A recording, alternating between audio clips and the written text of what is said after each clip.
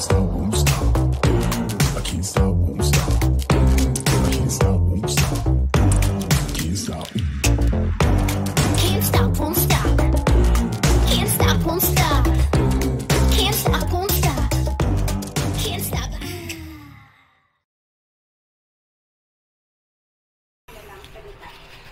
Ayan. Ito, may, may bago tayong uh, i-DIY. Sigurado ko marami na sa inyong mga naka-encounter na gintong pinto sa inyong mga CR. Yung plastic ba?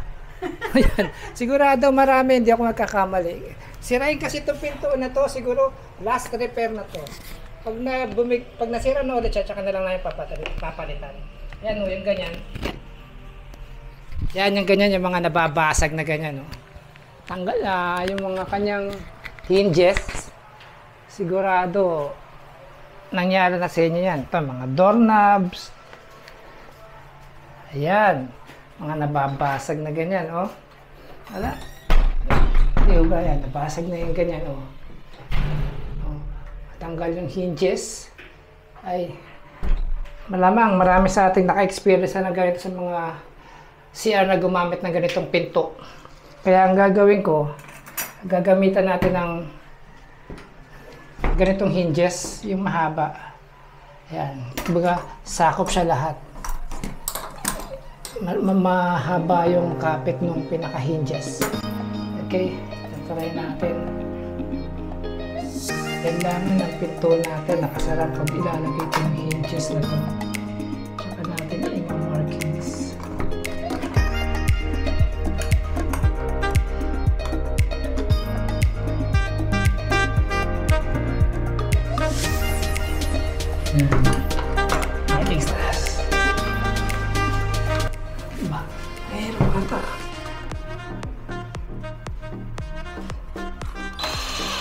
Ah,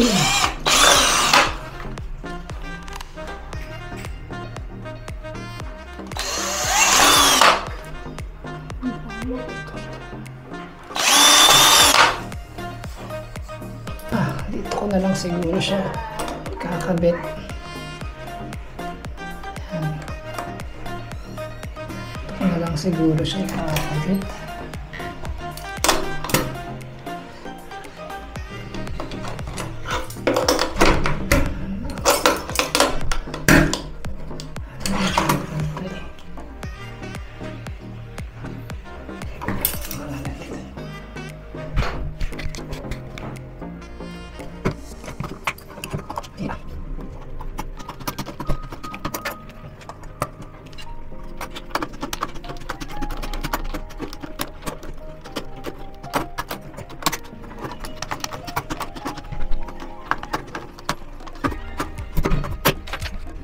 Walang isa ang ating drill. Matasan. Itong dalawang to, true and true. Agus sa kabila. Ito, nilibits lang natin dito.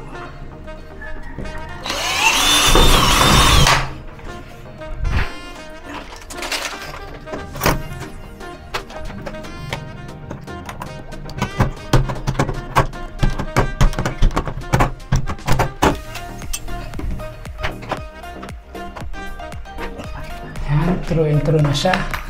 Lakyan natin ng konti.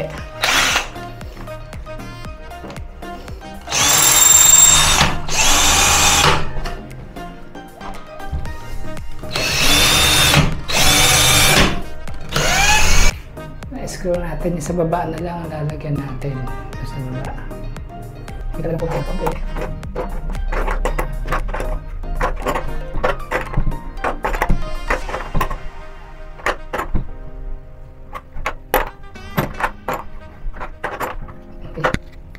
Tapos yun, yung baba naman. Baba.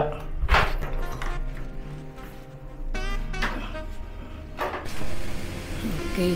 Kaya dito ko sa side nilagay itong hinges sa gilid ng hamba paharap sa CR. Kasi yung weight na kaya niyang buhatin mas mabigat compared dun sa may siwang niya in between ng edge ng pinto at ng hamba yung nasa loob mahina ang weight na pwedeng ikarga gawa ng ano eh nakaribets lang siya At yun ang na- nasubukan ko dito sa pinto na to eh. Kumakalas mismo yung pagkaka-rivets dun sa kanyang hamba.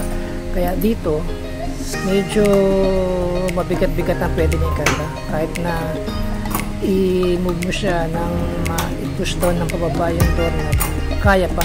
Hindi basta-basta mabubulot.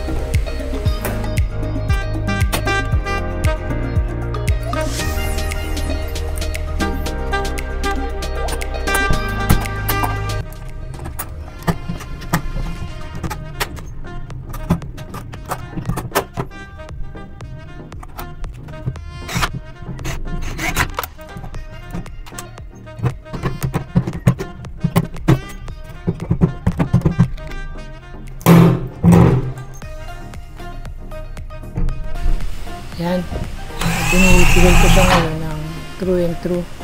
Tagusan niya na siya yan para yung screw maipasok ng tagusan at mailak ng ibig. Mas ang at kabilang side. Kailangan natin butasan na malaki at ah, hindi kakasya yung tuloy ko natin. Yan, ah, ilalagay ko muna yung isang screw sa una kong binutas para pagka binarela ko sa binutas ko, hindi na talaga mawawala sa alam niya. Nakatapat sa butas mismo para sakto-sakto sa kabilang door.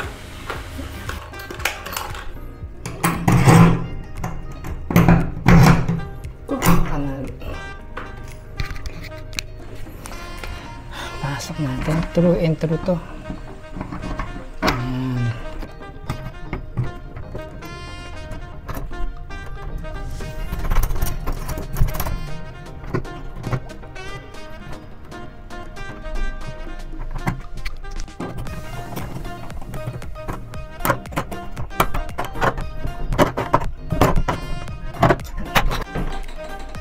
Ayan. Ito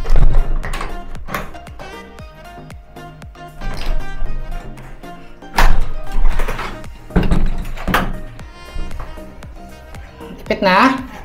Ayan, may katulong tayong ano. Katulong tayo. Pumipigil sa kabila. Sino kaya yun? Yung, yung kabila po, isa naman. Huwag naman sa kabila. Ayan. Ayan. Meron tayong um, asistante sa labas. Ayan. Sa taas naman, Kikay. Abot mo? Hindi? O baka malaglag ka niyan. One, two, three. Eh. Ito, ito, itong una, dulong-dulo, itong malapit dito. Ayan.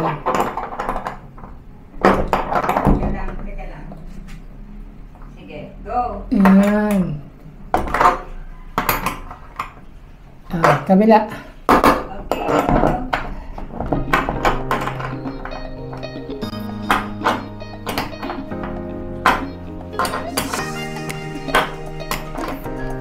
Okay, thank you. Okay. Putulin ko lang. Hulog. Ah. Okay, sige. Kakating ko lang to. Sobrang tornilyo.